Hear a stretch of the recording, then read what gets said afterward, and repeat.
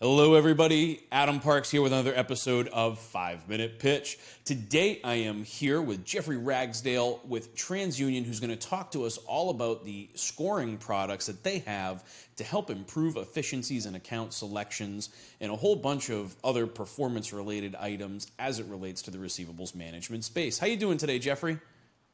Awesome. Thank you for the opportunity, Adam. Absolutely. Well, you know how this particular series works. You have five minutes to tell everybody about TransUnion and the scoring products that you offer there. So we'll just kick it right off. Ready, set, go. Thank you for the opportunity. So, if you were to ask me, Adam, why scoring, I would argue that scoring allows you to prioritize your accounts by the order of the consumer's ability to pay. Mm-hmm. So, at TransUnion, let me bottom line it for you. At TransUnion, we expect the top 50% of scores to get you around 85 to 95% of all dollars, and the bottom 25% to get maybe have 2 to 3% of your dollars. So, with that in mind and taking me at face value, you would sit there and say, okay, wait a minute. Why am I going to spend effort and resources on the bottom 25% with very low liquidation rates when you have, uh, when you have again, uh, concerns about uh, liability exposure, about letter cost, about all these other costs. So why pursue those, and why not put more emphasis in your uh, accounts that do have the ability to pay? Everybody, when you think of TransUnion, everybody thinks of like the risk scoring, right? Mm-hmm. Which is, hey, you know, how likely Adam is to go delinquent or in the next 24 months. And the higher the score, the less likely you are to go delinquent, and that's what you use when you buy your car loans and your mortgages and things like that. TransUnion has put a tremendous amount of resources in identifying who has the ability to pay. Mm-hmm. So these accounts that have already gone delinquent, now who has the ability to pay? And if you think about why TransUnion, right? So why what makes TransUnion the best in this space? I would argue it's it's our business, right? If you think about the business model of TransUnion, we're getting data from all these different mm-hmm. providers your bank card companies, your finance companies, your mortgage companies, your autos companies, all telling us a lot about you as, as a consumer. Mm-hmm. We, we take that data and we build it into thousands of attributes every for every consumer. When we build our recovery scores, we got millions and millions of recovery accounts along with payments. We said, what attributes do the payers have in common? We weighted them according to predictability and we built them into our scores. And because we have this tremendous vision into the consumer, we can make just the scores that produce the most and, and are most predictive. So that's kind of why we have been so predictive with that. Now, what you can do with that, again, is, is start to slope your efforts, right? So taking me at face value for a minute, 80, the top 50% getting you 85, 95% of your dollars. How are you going to capitalize on that? Are you going to call them more? Are you going to spend more on skip? Are you going to do some higher, maybe costly touch points, things like that, to that help you to you know to collect more, right? you know, it, I, I, love to fish, and I always say, hey, fish where the fish are, mm-hmm. right? So you know what?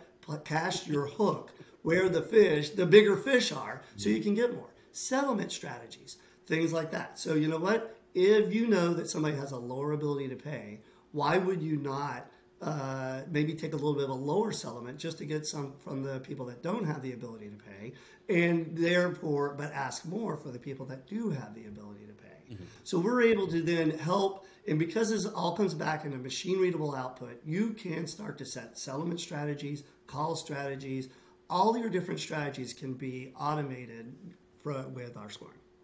Okay, so from what you're saying is basically uh, collection agencies, debt buyers, law firms can take full packages of accounts or entire portfolios, bounce it against TransUnion, prioritize where they want to spend their effort. Where are we going to make phone calls? Where are we going to send digital communications? And which accounts are we ultimately just going to not focus on because the expense of focusing on those accounts is greater than any return you could be expected to get. And so you're taking all of these different data sources that TransUnion has access to, compiling those, then using data science to basically create these scoring algorithms that we're bouncing the portfolios off and then prioritize, prioritizing our work efforts. Does that sound about right? That is absolutely perfect. And if you think about debt buyers, so once you understand how the scoring works and how each score band liquidates, mm-hmm. you know, we have a product called portfolio valuation for debt buyers. So before you actually make that purchase, score it and apply your liquid, see exactly how liquid that potential portfolio is. We have contingency agencies that actually will run that maybe on new clients. Maybe they, they uh, take a new client and the new client says, hey, this is fresh paper, never been worked. I want you to be the first to work it. Score it, see how liquid it is, and see what the potential before you onboard that client and go through all that expense. So there's a lot of different things you can do there. One other thing that we do do along with the scoring, Adam, is we offer what we call credit attributes. Mm-hmm. And credit attributes are um, the, those summary data, things like total open buying credit card. Who has a mortgage? Are they past due on their mortgage? How many months do they have remaining on their car note? How much are they paying on their car note? Mm-hmm. And do they have a home equity line of credit?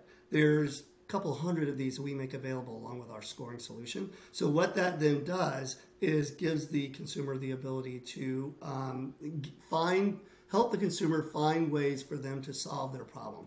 You know, like do they have a home equity line of credit?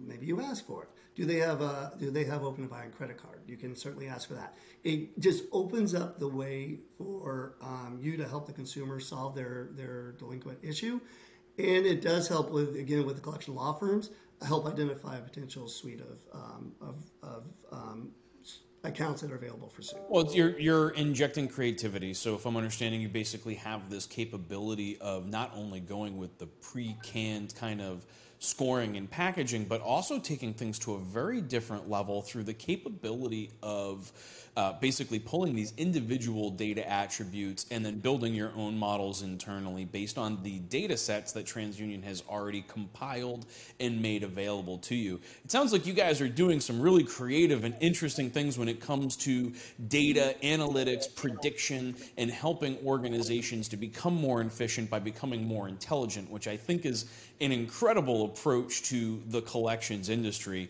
Jeffrey, I really want to thank you for coming on today and having this quick chat with me. I learned a little bit about some of the additional tools that are available from TransUnion and looking forward to learning more in the near future. For those of you that are watching, if you have additional questions you'd like to ask Jeffrey, you can leave those in the comments below on LinkedIn and YouTube, and we'll both be responding to those um, as you place them. Um, if you have additional topics that you'd like to see us discuss, you can leave those in the comments below as well, and maybe I can convince Jeffrey to come back on here again at some point and have another chat with me. But until next time, Jeffrey, thank you so much for coming on, and we'll see you again soon. Thank you, Adam. Appreciate the opportunity.